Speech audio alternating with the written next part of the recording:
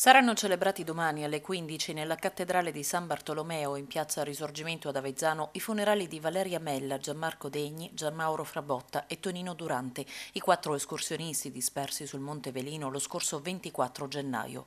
L'ultimo corpo a essere recuperato dall'infaticabile macchina dei soccorsi è stato quello del 26enne Gianmarco Degni, restituito al dolore di parenti e amici e di un'intera collettività ancora incredula per quanto accaduto. Due giorni di lutto cittadino, oggi e domani, sono stati proclamati dal sindaco di Avezzano, Gianni Di Pangrazio, per ricordare i quattro amici uniti dalla passione per la montagna e in segno di vicinanza ai familiari delle vittime di questa tragedia. Secondo una prima ricostruzione dei fatti, i quattro escursionisti potrebbero essere morti sul colpo, travolti da una gigantesca valanga che non ha lasciato scampo a nessuno la mattina di domenica 24 gennaio nell'area di Valle Maielama.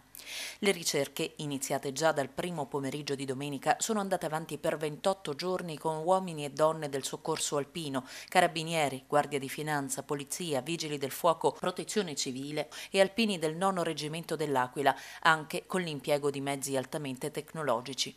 La prima a essere ritrovata è stata la 25enne Valeria Mella, poi il 33enne Gianmauro Frabotta e il 60enne Tonino Durante, infine, nella tarda mattinata di ieri, il 26enne Gianmarco Degni. Nella cattedrale di Avezzano, in piazza Risorgimento, è stata allestita la camera ardente che resta aperta oggi dalle 15 alle 20 e domani dalle 7 alle 13 per un ultimo saluto a Valeria, Gianmarco e Gianmauro.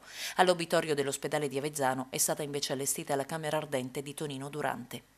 Domani pomeriggio i funerali dei quattro escursionisti saranno celebrati dal vescovo dei Marsi, Pietro Santoro, alle 15 nella cattedrale di San Bartolomeo, nel rispetto della normativa anti-Covid.